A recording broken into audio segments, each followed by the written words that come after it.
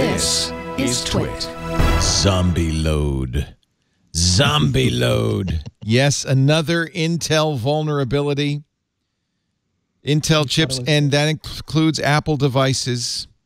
Four bugs that can allow hackers to steal sensitive information right from the processor. Go directly to the source.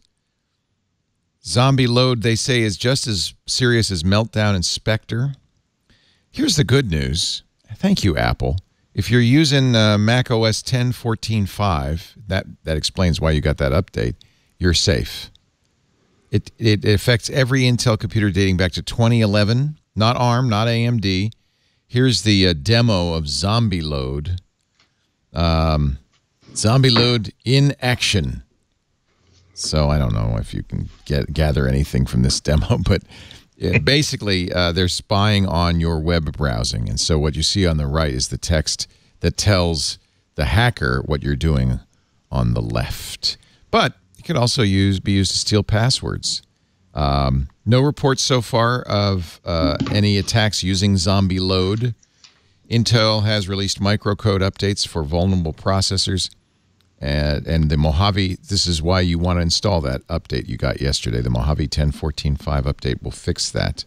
And I think you need physical access, right, to exploit it. Oh, well, So- that's good. If that's the case, it's nothing to be set your hair on fire for. But let me see. Uh, oh, by the way, there is a performance hit.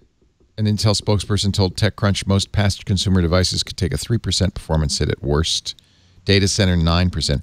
That's where Spectre Meltdown and, and I gather Zombie Load is an issue is on a shared processor as in a data center where you could have a malicious process running on the same machine as your process. And are those hits cumulative? Like, do we have to add those to the previous hits we took from the previous meltdown mitigation? It's like, is it one percent here, two percent there? All of a sudden, it's real percentages. So, according to TechCrunch, Zombie Load is easier than Spectre but harder than Meltdown.